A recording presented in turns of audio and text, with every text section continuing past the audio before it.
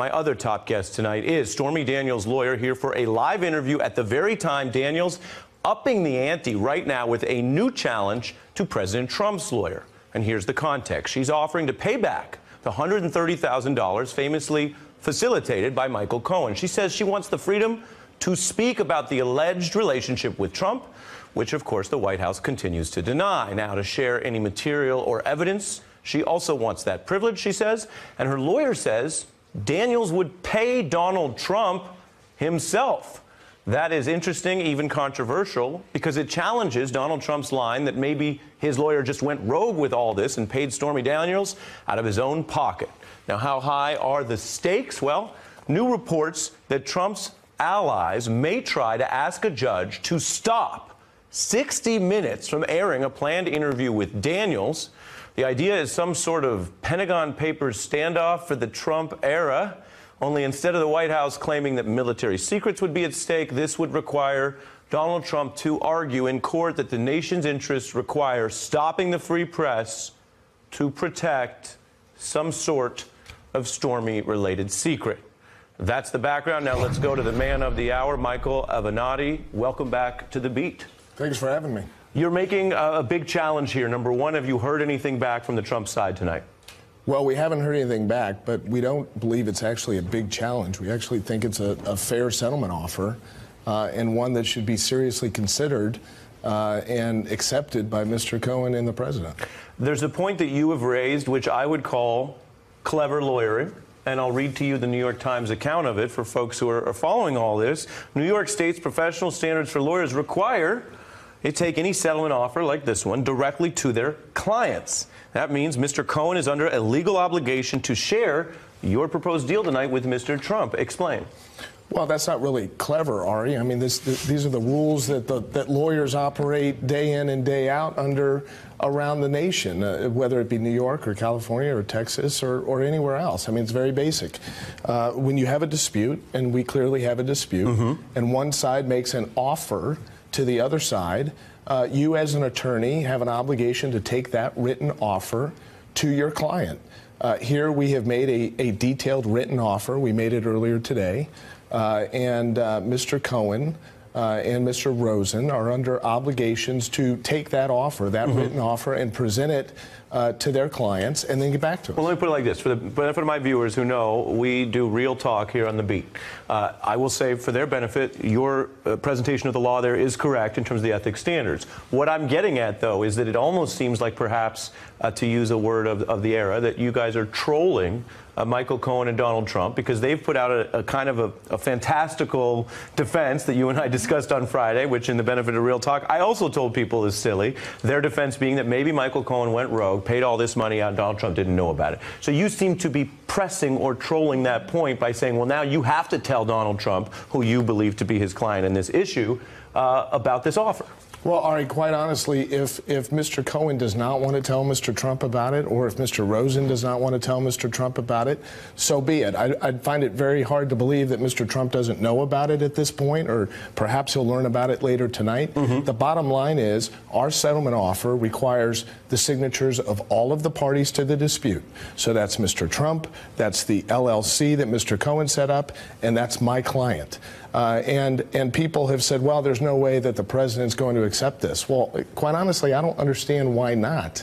Uh, the bottom line here is is that my client wants a forum to tell her story. Mm-hmm. Um, she's prepared to return the $130,000, and if they do not accept the settlement, this is yet another step, another process by which they're going to seek to silence my client. What are they afraid of? I don't understand. To this day, we've been at this now about a week, and we still don't have answers to the following questions. Very simple. Did Mr. Trump know about the agreement? Did he sign the agreement? We think it's pretty clear he did not. Did he know anything about the payment, and did he pay it or arrange for someone else to pay it? This isn't complicated. And they can run and they can hide, and we can go week after week after week, Ari, but we're not going home.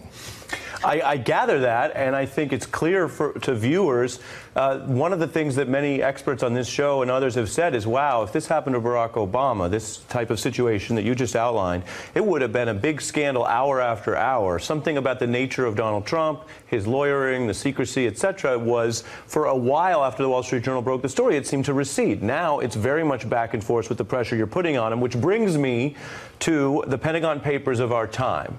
Uh, your view of this interview, which we know from the photograph, you were there for Anderson Cooper. I understand uh, you and, and, your client are not going to tell us what's in an interview that hasn't aired yet, so I'm not going to ask that. Uh, but your view of the reaction reported by BuzzFeed and others that they would seriously consider the White House trying to get a prior restraint, a legal gag order on 60 Minutes over whatever did transpire in the interview you attended. Well, I, have got to believe that that's not going to happen.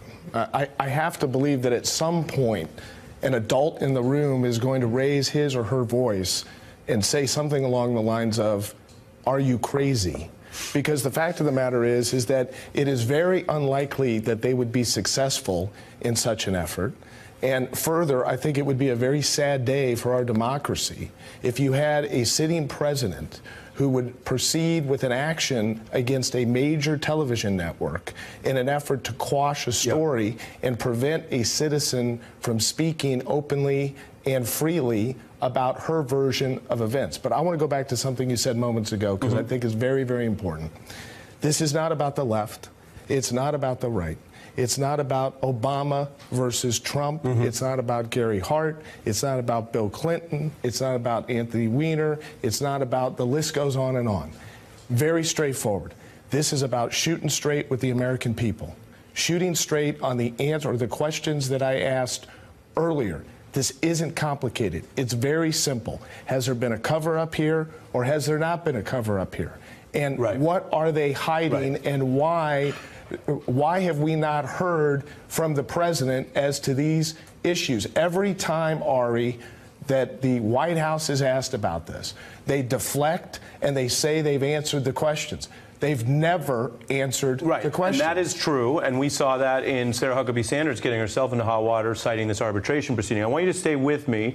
Donald Trump Jr. was asked about this actually today, too. We're going to play that in a minute. But I want to bring in to join our discussion criminal defense attorney Sarah Azari and Wall Street Journal reporter Shelby Holliday, who has given us analysis on this story in the past. Your view of what you're hearing uh, from this attorney and this client, who I think it's fair to say uh, have been effective at driving this message towards the White House? Uh, listen, I think that uh, Michael's offer is a reasonable offer, but it's not a reasonable offer to someone who is saying he didn't have an affair, he was not a party to the hush agreement, um, he had no knowledge that the payment was wired on his behalf, which is the most incredibly incredulous um, thing I've ever heard in my life. Uh, so when you're making this offer to someone like that, I, I mean, I'm not surprised that Michael hasn't heard back back from them. Um, if they were to even respond, um, it would negate it would negate their position essentially, which is that they know nothing right. about and this. That speaks, and that speaks to the part of this that is not legal and it's not about lawyers, uh, although we've assembled some here. Uh, that goes to whether this is a White House that can tell the truth and speak Absolutely. directly about what's happening. Uh, Don Jr. passed on an opportunity uh, when asked about this today. Take a look. Should Stormy Daniels be able to speak, sir?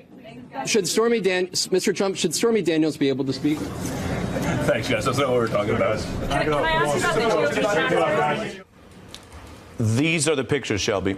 Well, yes, and I actually couldn't hear that perfectly, but I think generally what we're hearing and what my colleagues at the Wall Street Journal hear back anytime we ask questions about Stormy Daniels is fake news or some version of that. And so I think politically this is really interesting because it's becoming pretty clear that this payment may have been made to help Trump's election, but it continues to bother the White House so much that President Trump, a man who said you could shoot him on, he could shoot someone on Fifth Avenue and no one would care, is clearly very concerned about a porn star's story. Well, you just and this made... is a man who thinks he's untouchable, yet he, he will not answer questions, and it looks like he's very vulnerable uh, when it comes to these sorts of of stories. You just made a key point, uh, as you often do, Shelby, which is you. which is you're speaking to the hypocrisy of someone who brags about being invincible but doesn't want to get out on the battlefield. And you think about that in the context of something we dug up that I want to show everyone. And Shelby, I want your analysis of this politically, and then I'll go back to Michael. This was candidate Donald Trump appearing in what might be called an off-color uh, skit while candidate on SNL. Uh, take a look. Hey, hey, hey, don't boast for us. Oh. We're trying to do this this ad for Donald Trump so he lets us live in his hotels. Mm. Yeah, maybe visit the White House. I haven't been there since the 90s. Oh, yeah. I'm Donald Trump, and I in no way, shape, or form approve of this message. Didn't you used to be a brunette? Yeah. That's what I thought. Talk about a time capsule. I mean, that joke there was at the time a candidate doing these appearances for media, and he was literally mocking, I would argue, I want your analysis, himself and his supporters effectively saying, I don't approve of this, but he's in the skit, uh, played there by um, whatever you want to call the, the actresses there. Exactly. That clip says it speaks volumes of President Trump's uh, character, but also he's talked about his personal life and he's been very open about his escapades in previous years. I mean, it's understandable that he would not want his wife and probably, more importantly, his 10 year old son hearing all of the details that Stormy Daniels may have to tell. But this is a man who is at times very open about his sex life, and all of a sudden it's becoming very problematic for him to the point where we're not even getting answers. We're just getting fake news and then another story that proves it's not fake news. Michael and then Sarah.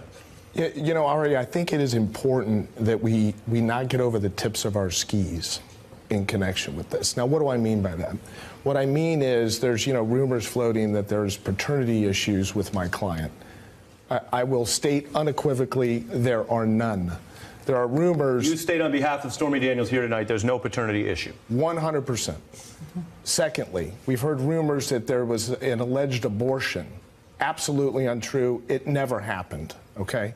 There is a tendency by many, uh, generally on the left in this circumstance, to do exactly what I mentioned, which is we get over the tips of our skis. Uh, in connection with this story, we we want it to be more. You, you know, it's not salacious enough, so we have to take it one more step. Um, and we're purposely guarding against that because we don't want to be a part of that. We want to be a part of the facts. We want to be a part of uh, my client having the opportunity to speak to the American people and tell her story, which we believe is going to be uh, uh, far interesting enough.